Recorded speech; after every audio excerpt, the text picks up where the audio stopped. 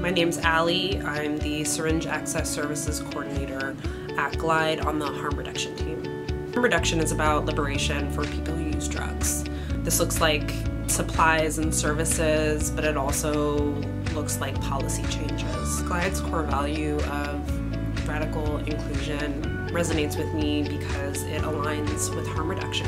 In harm reduction, we meet people where they're at, regardless of where that is, and that radical inclusion is an inherent part of meeting people where they're at.